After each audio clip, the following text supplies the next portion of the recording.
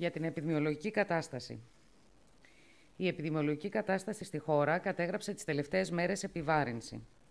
Το τελευταίο δεκαήμερο παρατηρείται αύξηση των κρουσμάτων και σημαντική πτώση του μέσου όρου ηλικίας των συμπολιτών μας που προσβάλλονται από τον ιό στα 27 έτη.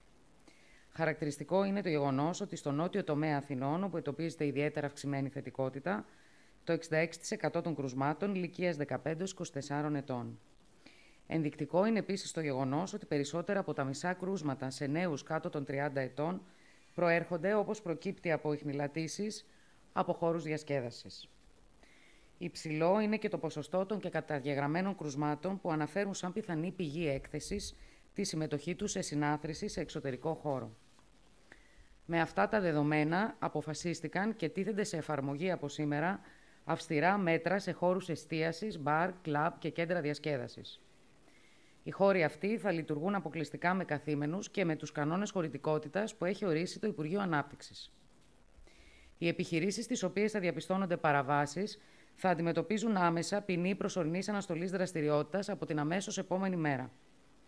Κάθε παράβαση θα επιφέρει πρόστιμο 2.000 ευρώ για τα καταστήματα κάτω των 200 τετραγωνικών μέτρων και 5.000 ευρώ για τα μεγαλύτερα και σε κάθε περίπτωση σφράγισε από την επομένη και για 7 ημέρες.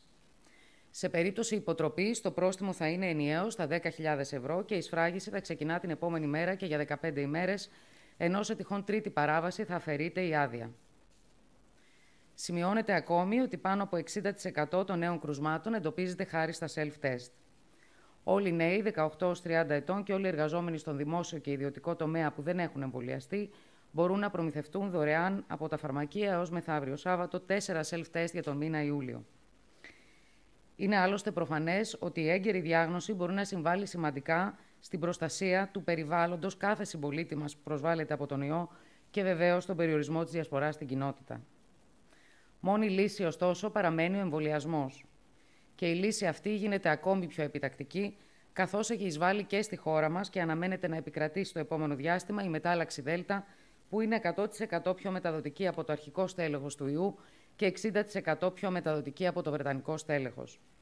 Στόχος είναι το επόμενο διάστημα να πιστούν και να αξιοποιήσουν το προνόμιο του εμβολιασμού οι συμπολίτες μας που διστάζουν ή αμφιβάλλουν για την ασφάλεια και την αποτελεσματικότητα των εμβολίων.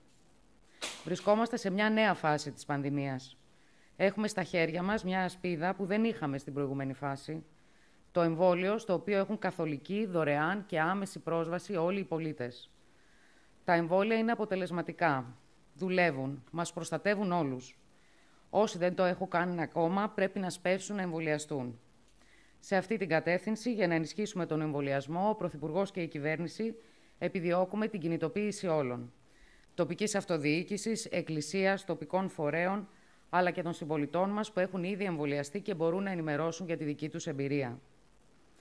Ήδη ενισχύεται η προθυμία των συμπολιτών μας να κλείσουν το ραντεβού τους για τον εμβολιασμό, καθώς τις τελευταίες ημέρες έχουν κλειστεί 300.000 νέα ραντεβού πρώτης δόσης με στόχο την περαιτέρω διευκόλυνση των πολιτών, ξεκίνησε από την Κρήτη και θα συνεχιστεί σε όλη τη χώρα επιμέρους επιχειρησιακό πρόγραμμα με κινητά συνεργεία, έτσι ώστε να καλυφθούν απομακρυσμένες περιοχές.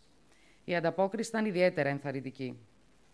Την επόμενη εβδομάδα θα ανοίξει, ύστερα από θετική γνώμη της Εθνικής Επιτροπής Εμβολιασμών, η πλατφόρμα των ραντεβού για τον εθελοντικό εμβολιασμό των εφήβων ηλικίας 15 έως 17 ετών μετά από γονεϊκή συνένεση.